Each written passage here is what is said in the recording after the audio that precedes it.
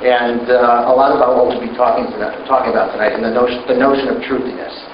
And as uh, a group of of lawyers, media, and those of us in in the uh, strategic communications business, um, the the whole notion of of the line between advocacy and misrepresentation is one that we, uh, as professionals, have a duty to to to kind of guard and hold sacrosanct.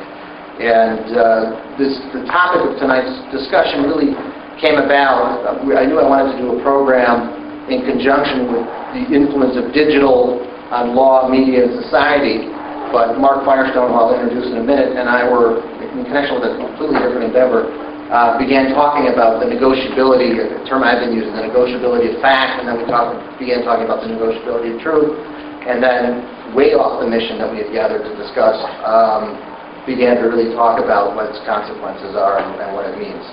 Uh, And I think that, again, in a- in an animated way, and putting partisan politics aside, uh, Jon Stewart and Stephen Colbert do a phenomenal job um, of of articulating some of the the double standards, some of the hypocrisy, some of the the costs of what we'll call, there are more crass words to use than truthiness, but we're going to use truthiness for uh, tonight. Uh, we want to get into what, what are the implications and consequences?